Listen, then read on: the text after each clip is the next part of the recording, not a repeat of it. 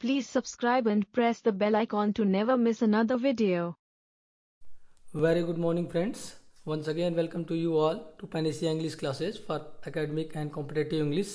दोस्तों एक मैं विपिन कुमार गुप्ता एक बार फिर से हाजिर हूँ आपके सामने इंग्लिश कॉम्पिटेटिव एग्ज़ाम के लिए कुछ नए ट्रिक्स और इन्फॉर्मेशन लेकर के दोस्तों आज अपने इस वीडियो में हम लोग प्लान करेंगे how to prepare for English section और different examination how to prepare English section for different type of government or competitive examination just like bank clerk, PO, SSC, CGL or different examination.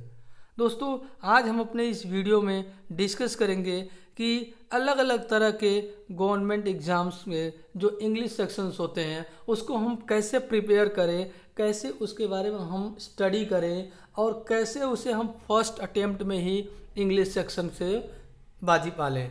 तो इस video में हम यहाँ discuss करेंगे कि कैसे यहाँ छोटे छोटे जो कॉमन पॉइंट्स होते हैं, कुछ कॉमन पॉइंट्स दोस्तों ऐसे होते हैं जो मैक्सिमम गवर्नमेंट एग्ज़ाम में बिल्कुल वो ज़रूर ही उससे रिलेटेड क्वेश्चंस पूछते हैं।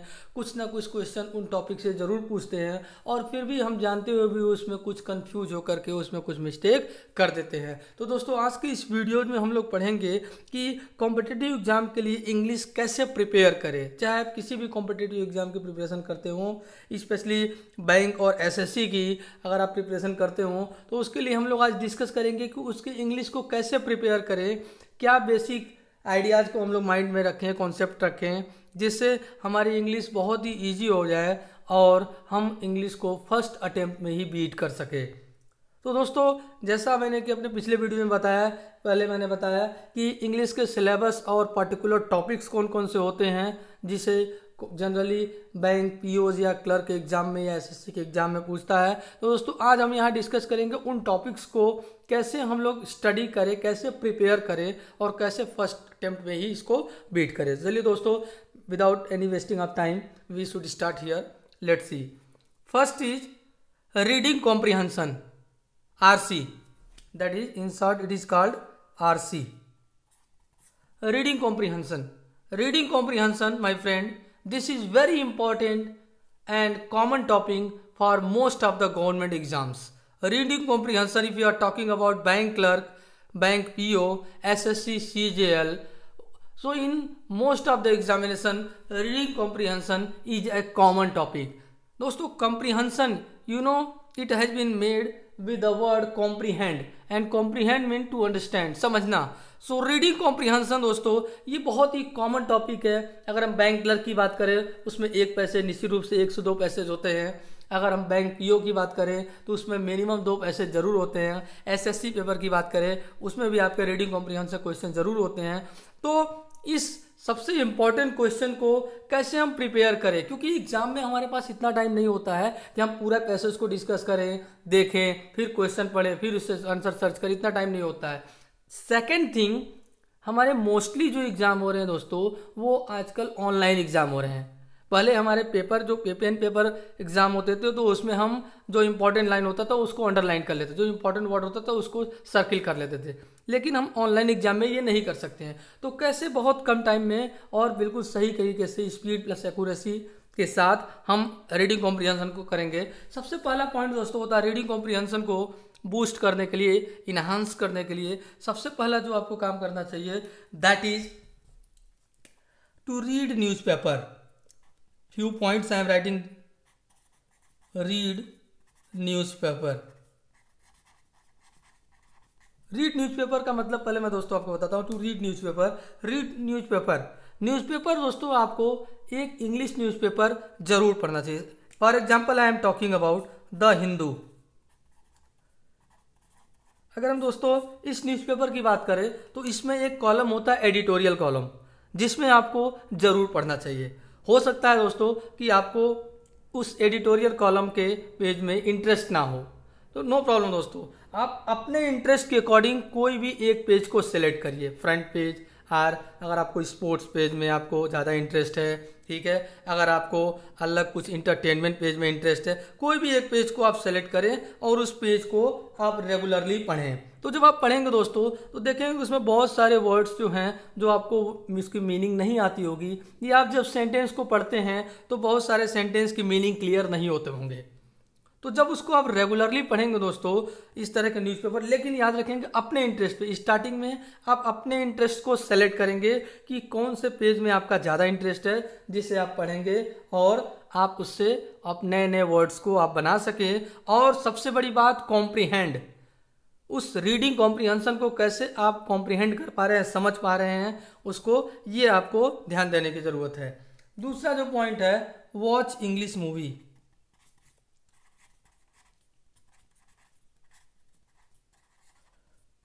watch English movie दोस्तों, दूसरा जो पॉइंट है watch English movie English movie की अगर हम बात करें दोस्तों तो देखते होंगे जब इंग्लिश मूवी चलता है तो आपको हमें कुछ समझ में नहीं आता कि उसमें मूवी में क्या चल रहा है। केवल हम सीन देख पाते हैं, लेकिन एक्चुअल में उनके जो सेंटेंसेज हैं, उनके जो डायलॉग्स हैं, वो हमें क्लियर नहीं होते। लेकिन दोस्तों, आज बहुत सारी मूवीज़ इंग्लिश ऐसी भी आती हैं, जो नीचे उसकी लाइन लिखती जाती है। तो आप उसे देख करके आप इंटरेस्ट अपना डेवलप कर सकते हैं। क्योंकि उसमें आपको बहुत सारे ऐसे वर्ड्स मिलेंगे जिसे आप पहले नहीं सुने होंगे, बहुत सारे ऐसे वर्ड मिलेंगे जिसे आप सुने होंगे लेकिन आपको सेंटेंस क्लियर नहीं होगा। दोस्तों रीडिंग कॉम्प्रिहेंशन वैसे तो होता है बहुत आसान टॉपिक लेकिन जब हम उसे अच्छी तरह से समझ लें। ठीक है? तीसरा जो पॉइंट होता है दोस्तों, वो होता है क्विज जब हम कोई भी क्विज आज बहुत सारे क्विज के ऐप आ रहे हैं, जिसे हम डाउनलोड कर सकते हैं, जिसमें हमें रेगुलर बहुत सारे सेंटेंसेज मिलते हैं, जब हम उस ऐप को डाउनलोड करेंगे तो देखेंगे उसमें कोई सेंटेंस क्वेश्चन पूछता है, उसके फोर ऑप्शंस होते हैं, उस क्विज ऐप में। तो उसमें हम देखेंगे जब सेंटेंस दिया होगा इंग्लिश में तो उसको हम जब पढ़ते हैं तो हमें लगता है कि हम सेंटेंस को समझ पा रहे हैं। तो सेंटेंस कुछ हम, कुछ सेंटेंस ऐसा होगा, जो हम नहीं समझ पा रहे होंगे। तो जब उस क्विज के क्वेश्चंस को रेगुलरली हम उसको देखेंगे रेगुलर उससे हम स्टडी करेंगे, ध्यान देंगे तो हमें लगेगा कि हम बहुत सारे पॉइंट इसको हम धीरे धीरे समझ ले रहे हैं। चौथा जो पॉइंट होता है दोस्तों communicate your friends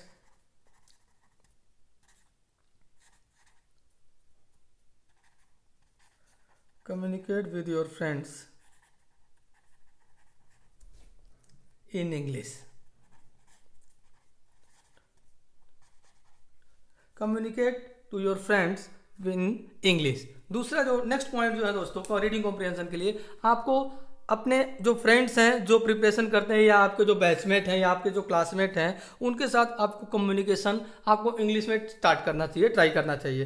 दोस्तों, देखिए इंग्लिश बहुत सारे लोगों के लिए बहुत हवा है, एक फियर है। बहुत सारे लोग डरते हैं, जिनका वीक है। बहुत सारे लोग जो स्ट्रांग है, उनके लिए बहुत ईजी होता है। देखिए दोस्तों, जहाँ तक डरने की बात है ये ऐसा सेक्शन है, इससे भागा नहीं जा सकता, इससे बैकआउट नहीं किया जा सकता।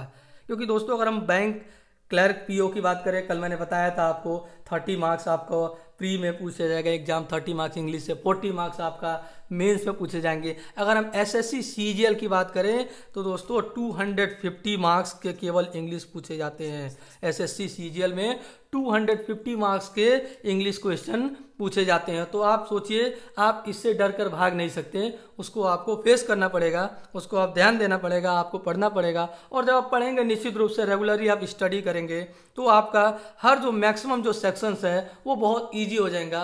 और आपको उस एग्ज़ाम में बीट करना बहुत आसान हो जाएगा। तो रीडिंग कॉम्प्रिहेंशन को इन्हांस करने के लिए बूस्ट करने के लिए मैंने यहाँ कुछ टॉपिक बताया जिसमें सबसे इंपॉर्टेंट है न्यूज़पेपर रीडिंग न्यूज़पेपर रीडिंग दोस्तों इंग्लिश न्यूज़पेपर रीडिंग बहुत ही इंपॉर्टेंट है रीडिंग कॉम्प्रिहेंशन को बूस्ट करने के लिए एनहांस करने के लिए। आपको रेगुलर उसमें जो भी आपको इंटरेस्टेड पेज हो, जो भी इंटरेस्टेड पेज हो, यहाँ मैं आपको लिख दे रहा हूँ, जो भी आपका इंटरेस्टेड जो पेज हो, उसको आप पढ़िए और अच्छे से उसको ध्यान से समझने की कोशिश करिए कॉम्प्रिहेंड करिए, उसको समझने की कोशिश करिए तो आपको लगेगा कि धीरे धीरे आपका कॉम्प्रिहेंशन स्किल जो है थोड़ा बेटर हो रहा है।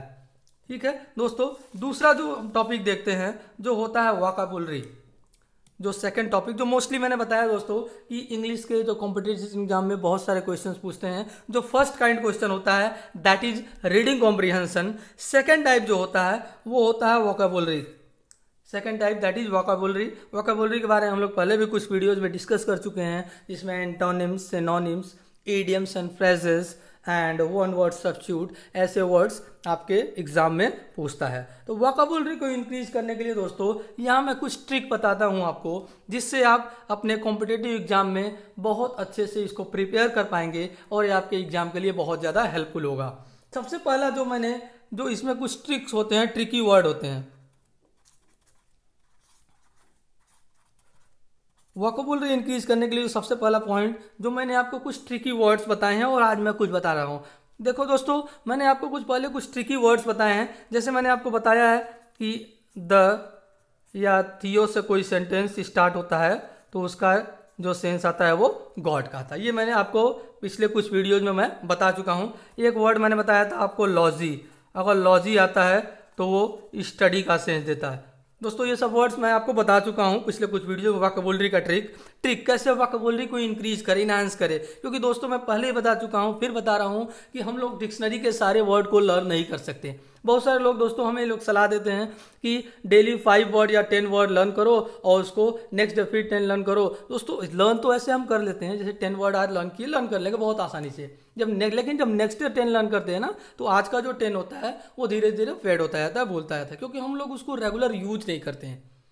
तो उसको रेगुलर यूज़ करना बहुत ज़्यादा ज़रूरी है। उसके लिए मैं कुछ आपको ट्रिक बता रहा हूँ। जैसे कुछ ट्रिकी वर्ड मैंने बताया कि द या दियो होता है तो गॉड का सेंस देता है लॉजी होता है स्टडी का सेंस देता है। ऐसे ही एक वर्ड होता है साइड सी आई डी जब भी किसी वर्ड के एंड में साइड आता है दोस्तों तो वो किलिंग का सेंस देता है डेथ का सेंस देता है। जैसे सुसाइड जैसे एक वर्ड है सुसाइड ओके फीटीसाइड तो ऐसे जब एंड में, किसी वर्ड के एंड में साइड जब आता है तो वो सेंस देता है किलिंग का, डेथ का सेंस देता है, मरने का। Suicide, infanticide, feticide, okay? तो ये साइड का सेंस देता है। ऐसे ही दोस्तों, एक अगर किसी में क्रेसी आता है तो ये गवर्नमेंट का सेंस देता है। अगर क्रेसी आता है लास्ट में, जैसे डेमोक्रेसी, थियोक्रेसी, ऑटोक्रेसी तो ऐसे जब क्रेसी वर्ड आते हैं तो हमेशा वो गवर्नमेंट का सेंस देता है। तो दोस्तों वैकेबुलरी इंक्रीज करने के ऐसे बहुत सारे ट्रिकी वर्ड हैं, जो वास्तव में हम उसको प्रिपेयर करें, उसको हम ध्यान से देखें तो वास्तव में हमें पूरी डिक्शनरी लर्न करने की ज़रूरत नहीं होगी। हमें उतना ही लर्न करना है जिससे हम एग्ज़ाम को आसानी से बीट कर सकें। ये हमें सबसे ज़्यादा ध्यान देने की ज़रूरत है। बहुत ज़्यादा हम दिमाग में टेंशन लेके नहीं चलना है कि डिक्शनरी हम पूरा लर्न नहीं कर सकते तो वैकेबुलरी हमारा कैसे स्ट्रांग होगा। दोस्तों, सच्चाई, सच है ये कि स्ट्रांग वैकेबुलरी हमारा होना चाहिए। Your vocabulary must be strong लेकिन उसके लिए ट्रिक से द्वारा कैसे हम उसको प्रिपेयर कैसे कैसे उसको हम आसान बनाए, ये ध्यान देने की ज़रूरत है। तो पहला हमने बताया कि कुछ ट्रिकी वर्ड होते हैं जिसके द्वारा आप प्रिपेयर कर सकते हैं। दूसरा दोस्तों, दूसरा एक इसमें जो ट्रिक है, वो होता है जब भी हम किसी वर्ड को लर्न करते हैं, जब भी हम किसी वर्ड को पढ़ते हैं सपोज़ दैट सिंपल एग्ज़ाम्पल मैं देता हूँ आपको desire suppose that simple example we are taking desire अगर डिज़ायर को आप देखते हैं तो उससे डिज़ायर से रिलेटेड जितने भी वर्ड बनते हैं, उसके parts of speech like desired desirous तो उससे रिलेटेड जितने भी वर्ड बनते हैं दोस्तों, उसको हम उसी समय ध्यान से पढ़ लें डिज़ायर डिजायर्ड डिजायरस ये हम उसी समय पढ़ लें ताकि हमें बाद में फिर डिजायर्ड और डिजायरस को ना पढ़ना पड़े। तो दोस्तों, जब भी हम किसी पर्टिकुलर वर्ड को पढ़ते हैं तो उससे रिलेटेड उसके पार्ट्स ऑफ़ स्पीच में, जैसे उसका नाउन क्या होगा, उससे वर्ब क्या बन रहा है, उससे आपका एडजेक्टिव क्या बनेगा, ये हम उसी समय प्रिपेयर कर लें। जैसे हम कॉम्प्रीहेंड पढ़ें तो कॉम्प्रीहेंड हमारा वर्ब है टू अंडरस्टैंड उससे नाउन क्या बन रहा है कॉम्प्रीहेंसन तो उससे रिलेटेड जो भी हम वर्ड है, उसको हम उसी समय पढ़ लें। इससे हमारे लिए बहुत ही ज़्यादा आसान हो जाता है। किसी वर्ड को समझना, हमारे लिए वाकबोलरी को स्ट्रांग करना बहुत आसान हो जाता है। क्योंकि अगर हम पर्टिकुलर एक नया वर्ड पढ़ें, जैसे हमने नया वर्ड पढ़ा थियोडिसी तो थियोडिसी हम समझना पड़ेगा क्या होता है, उससे थियोडियस बनेगा। तो ऐसे वर्ड पर्टिकुलर जो उससे बन रहे हैं, उससे जो पार्ट्स ऑफ़ स्पीच के जो अदर पार्ट्स बन रहे हैं, उससे हम उसी समय देख लेंगे उसको। तो हमारे एक साथ दो से तीन, चार वर्ड एक साथ प्रिपेयर हो जाएगा और हमें लर्न करना है केवल एक ही। हमें प्रिपेयर करना है केवल एक, लेकिन उसके साथ साथ हमारे तीन, चार और वर्ड प्रिपेयर हो गए। ठीक है? नेक्स्ट जो आपका वकबुलरी स्ट्रॉन्ग करने का जो तीसरा जो तरीका है, वो होता है, मैं आपको बताता हूँ। आपको पहले अपना एक इंटरेस्टेड टॉपिक डेवलप करना है। कोई भी एक इंटरेस्ट टॉपिक सपोज़ दैट आपका जिसमें भी इंटरेस्ट हो सपोज़ दैट आपका क्रिकेट में इंटरेस्ट है सपोज़ दैट आपका नॉवेल पढ़ने में इंटरेस्ट है सपोज़ दैट आपको ड्रामा पढ़ने में इंटरेस्ट है सपोज़ दैट आपको पॉलिटिकल लीडर्स के बारे में पढ़ने में इंटरेस्ट है सपोज़ दैट आपको फ्रीडम फाइटर्स जो हमारे हैं, उनके पढ़ने के बारे में इंटरेस्ट कोई भी एक टॉपिक डेवलप करिए सपोज़ दैट कि आपको क्रिकेट का इंटरेस्ट है क्रिकेट के बारे में आपको पढ़ना बहुत अच्छा लगता है। तो डेली आपको 15 मिनट आपको कहीं गूगल से आप सर्च कर लें 15 मिनट आपको उससे रिलेटेड आर्टिकल पढ़ना है। 15 मिनट आप एक सेलेक्ट करिए, कोई भी एक टॉपिक सेलेक्ट करिए 15 मिनट का आर्टिकल क्रिकेट से रिलेटेड और जब उस आर्टिकल को आप पढ़ेंगे, ज़ाहिर सी बात है आर्टिकल वो इंग्लिश में होगा, और जब उसको आप पढ़ेंगे तो चूँकि क्रिकेट से रिलेटेड तो आपको अच्छा लगेगा पढ़ने में। उसको पढ़ने में आपको आसानी समझ में आएगा। तो उसमें आप देखेंगे, जब सपोज़ दर वन पेज का वो आर्टिकल है, जब आप पढ़ेंगे तो आप उसमें लगेगा आपको फाइव से टेन वर्ड्स फाइव से टेन वर्ड्स ऐसे हैं जो आपको नहीं आ रहा है, जिसकी मीनिंग आपको नहीं पता है कि उसका मीनिंग क्या होता है। तो उसमें जब आपका इंटरेस्ट क्रिकेट में डेवलप होगा तो उन फाइव से टेन वर्ड्स को आप फाइंड आउट करने की कोशिश करोगे कि what are the meaning of these words suppose that आपको क्रिकेट में हो गया, आपको सपोज़ दैट नॉवेल में इंटरेस्ट है।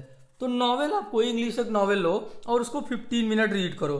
फिफ्टीन मिनट जब रीड करोगे आप तो आपको लगेगा उसमें कुछ वर्ड ऐसे हैं टेन से ट्वेंटी वर्ड्स जो आपको नहीं पता है। तो चूँकि आपका नॉवल इंटरेस्टेड टॉपिक है, आपको इंटरेस्ट है उसमें तो आप उन वर्ड्स के मीनिंग फाइंड आउट करने की कोशिश करोगे और वो केवल लर्न ही नहीं करोगे, आपको वो अपने आप ज़रूर जल्दी याद भी हो जाएगा। क्यों याद होगा? क्योंकि वो आपका टॉपिक इंटरेस्टेड था, चाहे वो क्रिकेट हो, चाहे नॉवेल हो, चाहे पॉलिटिकल लीडर हो, चाहे फ्रीडम फाइटर्स हो, चाहे इंडियन हिस्ट्री हो, चाहे जियोग्राफी हो whatever the topic but that should be your interesting topic आपके इंटरेस्टिंग टॉपिक है तो आपको जो भी वर्ड 15 मिनट्स की रीडिंग में आपको 5 से 10 या 10 टू 20 वर्ड आपको जो मिलते हैं, उसको पढ़ने में आपको अच्छा लगेगा, बल्कि वो बहुत जल्दी आपको प्रिपेयर भी हो जाएगा, क्योंकि जब हम किसी चीज़ को लर्न करते हैं तो हो सकता है हमारा इंटरेस्ट उसमें ना हो।